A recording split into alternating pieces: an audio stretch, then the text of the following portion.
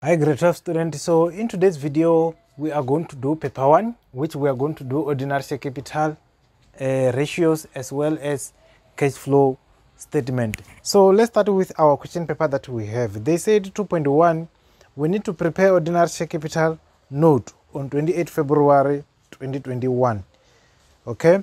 So they give us information number A uh, share issued, new shares, share buyback and they didn't give us how many share at the end. Okay, if you check information number C, they give us opening balance and closing balance. So we can start with these balances. They give us opening balance. If you check opening balance, it was amount of 6 million 400,000. Okay. Then we also know that uh, on 1 March under information number A, there was 800 issued share. Okay, and they also give us amount for the year end, which is a balance. Uh, the balance they give us seven million three hundred and ninety-five thousand. Okay, and we know that we also have to record issued share and we also have to record share buyback. Okay. Now we know that issued share it was 100 shares and share buyback. We also know that uh, they buy back a share of 30,000 now which means that it can be simple for us to know that closing balance it was how many share because we said 800 plus 100 minus 30 which is going to give us how many share? Uh, 870,000 shares at the end. Okay now we need to know the uh, are we still going to calculate average can is or is given? Okay let's read on 1 general January under information number A. They said 30,000 share repurchase at 1 rand 20 more than average share price. They didn't give us average. They give us 120 that we need to record under retained income note. Okay, so how are we going to do it? We need to check whether they buy back share before issued share or after. If you check, they buy back shares after they issued 100 thousand shares, which means that our average price must be calculated by the balance at the end because they buy back share afterward after new issued. Okay, which means that our average price is here. So how are we going to calculate average price? 7 million 395,000 divided by 870,000 shares, which, which is going to give us how much?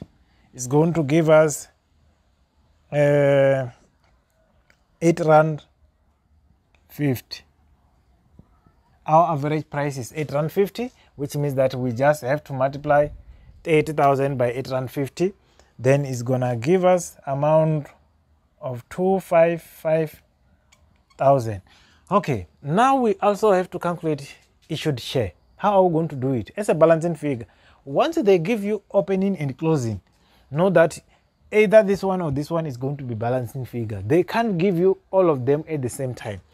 How to calculate this? Very simple. You start from down, you take this one, whatever that is negative, you add, whatever that is positive, you subtract. You're going to get this one. This one plus this one minus this one is going to give you the balancing figure of 1,250,000. Then you will be done with this note and you will get only six, six marks. So this note was very, very simple and straightforward in this question paper. Okay. So calculate the financial indicator on 28 February 2021. Two marks, operation expense on sales. So profitability ratio, guys, they are very simple. Once they said what what on what what, they are saying what what divided by what what. In this case, operation expense divided by sales and you multiply by 100. Okay, so if you check under our income statement, uh, we have all those balance. We're gonna say 1,458,000 which is operating expense divided by sales amount of 7,293,000 and we multiply by 100 it's gonna give us 20 percent. Then you will be done. It's two marks only for this one. Okay? Then another one we have to calculate dividends per share.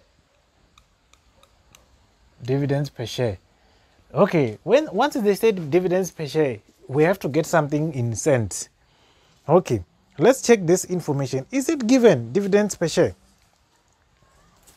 They only give us final dividends of 22 cent for interim we need to calculate it. Very simple.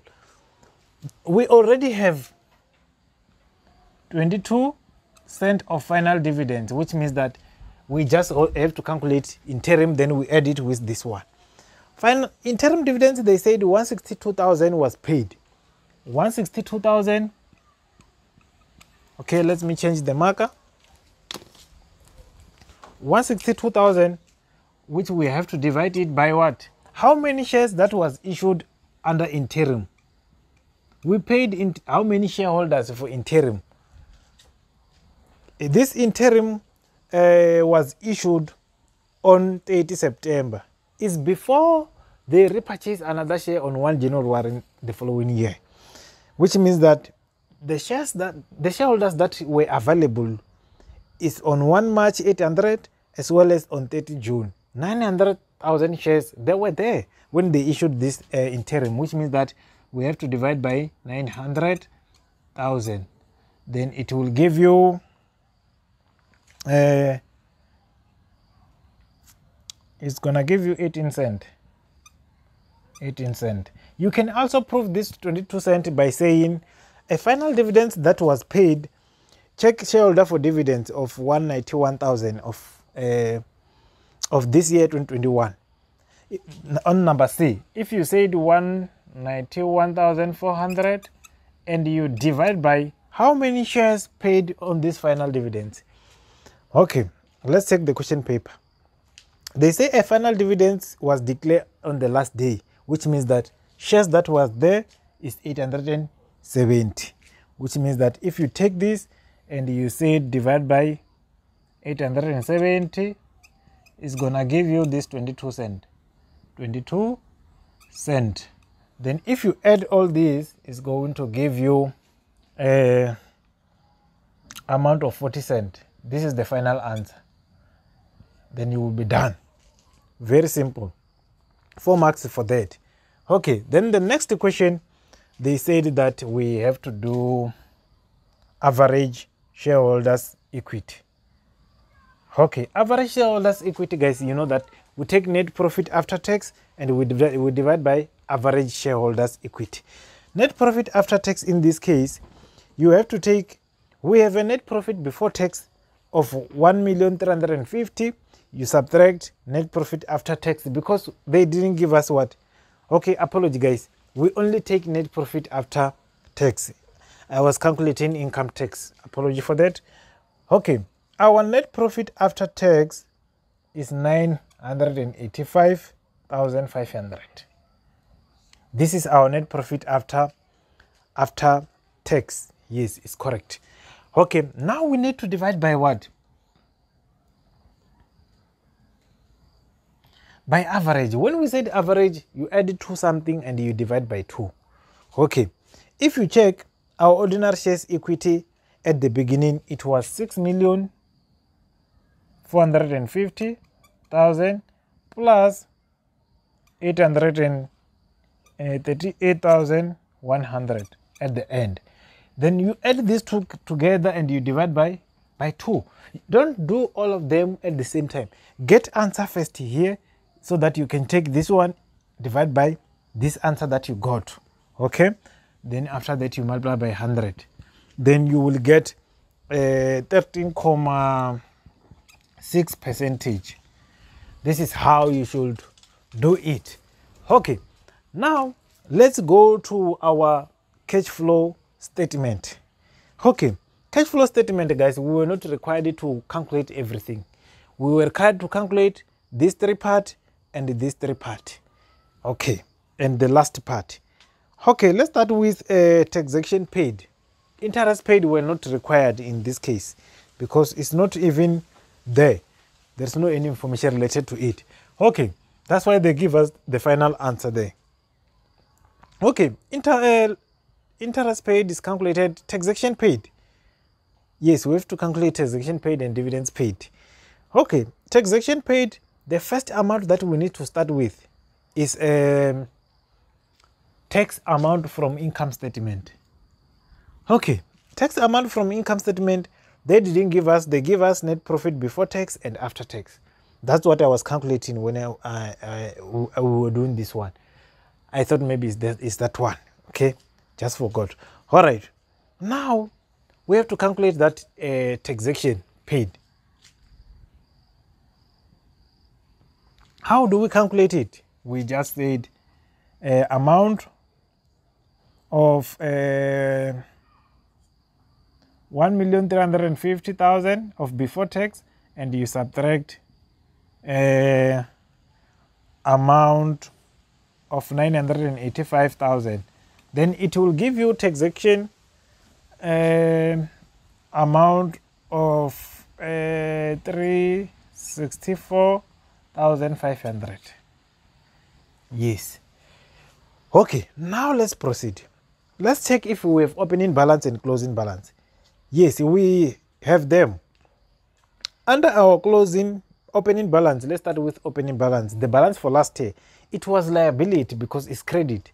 Once it's liability because it's credit simply means that uh, this amount is going to be whether inflow or outflow sign is very important because it's going to determine your answer. Okay we were owing them at the end of the last year. When we owe them at the end of last year we didn't pay them last year. We're going to pay them this year. Simply means that this year is going to be outflow of 35,900 okay then at the end of this year they owe us. But did they refund us this year? No they're gonna refund us next year which means that it's still outflow. It's still outside this money. 29,100 they can't refund us because remember we're calculating this on the last day of reporting period. They can't pay us on the same day. They're gonna pay us back next year. It's refundable because it's debit.